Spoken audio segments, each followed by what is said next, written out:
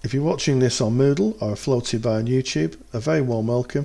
My name is Rory Lees Oakes, and in this presentation, we're going to look at key ideas in therapy. An introduction to Elizabeth Kubler-Ross and the five stages of grief. Um, little introduction to Elizabeth Kubler-Ross. She was born July the 8th, 1926 in Zurich, Switzerland. She died August the 24th, 2004 in Scottsdale, Arizona, in the United States of America. Her nationality was Swiss American. Her field was psychology and thanatology, which is the study of death and dying. And her key ideas were how individuals process their own mortality. Elizabeth Kubler-Ross spent a lot of time um, around the death and dying, people who are di- dying, um, and she also helped found uh, what we now know as the hospice movement. She's a big contributor towards it.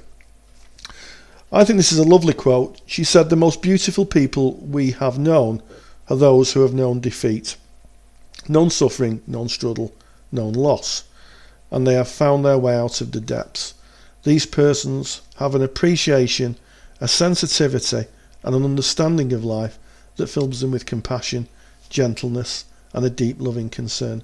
Beautiful people do not just happen. And I think what Kubler Ross was saying was that maybe when people have had to look at their own mortality or had to accept a loved one's mortality, then maybe they look at the world in a slightly different way and appreciate the living a little bit more. The historic developments of her ideas, well, she started her career working with refugees at the end of World War II and in 1958 she moved to the USA to train as a psychiatrist. After qualifying, she went on to teach at the University of Chicago's Pritzker School of Medicine before training as a psychoanalyst. It was during this time that she undertook research with terminally ill patients. Her extensive work led her to write a book entitled On Death and Dying, and you can see one of the, the face covers on, on the left hand side of the book. She concluded that women are more likely to go through the five stages of grief than men. However, most people go through at least two. So the five stages of grief, they're also known by an acronym, an acronym of DABDA. So the first is denial, the second is anger, the third is bargaining, the fourth is depression, and finally the, the, the last stage, or the fifth stage, is acceptance. The first stage, denial, when people are told they have a terminal illness, or maybe they've been told that a loved one has a terminal illness or has even been been killed, um, they may say things like there's been a mix up. If it's an individual who's been told they have a terminal illness, they may say things like, I feel fine, the tests are someone else's. Um, these are common responses where people deny what's being told to them. Um, and in this stage, individuals may come a little preoccupied with possessions. It's possible that as it starts to sink in, individuals are thinking about maybe they might not have time with the things they have. Also, it might be they're considering who's going to get what, how what they're going to pass on.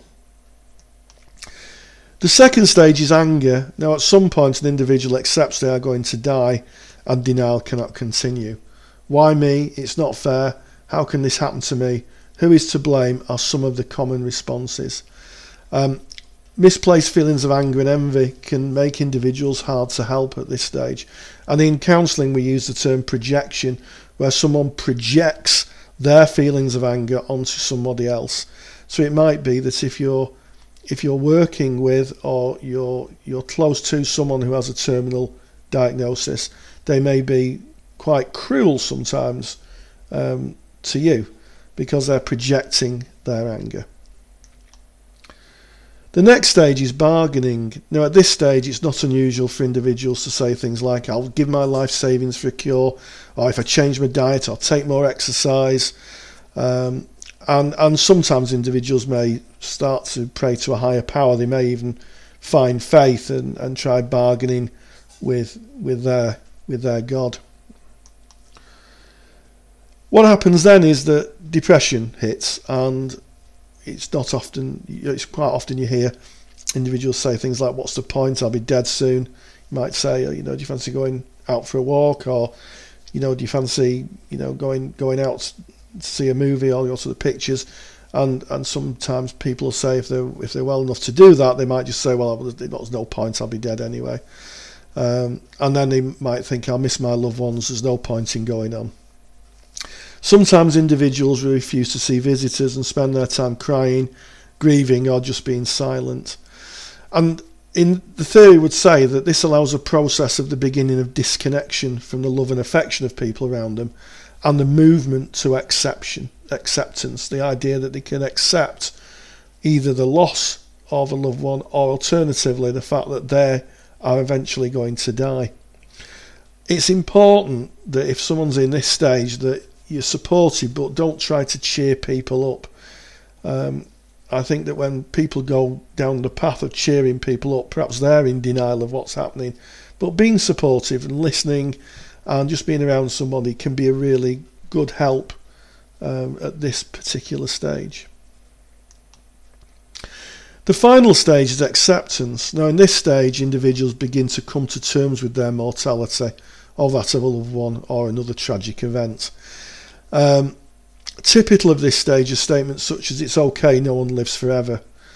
Um, it can also be a time when individuals try to make peace with relatives and friends, as well in as well as helping loved ones come to term with their end of life.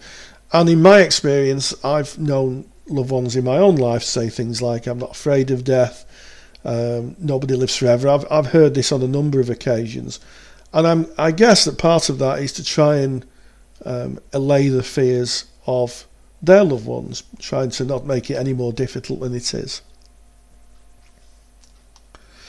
If you're going through grieving or you need assistance or any support with grief, there's two organisations that may be useful.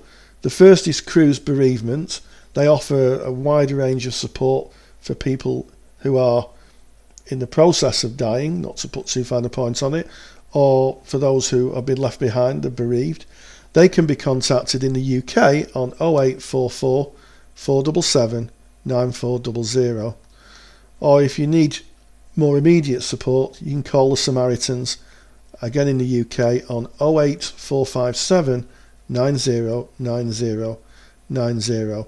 And it's always worth checking um, the costs. I think possibly it costs more for mobile phones.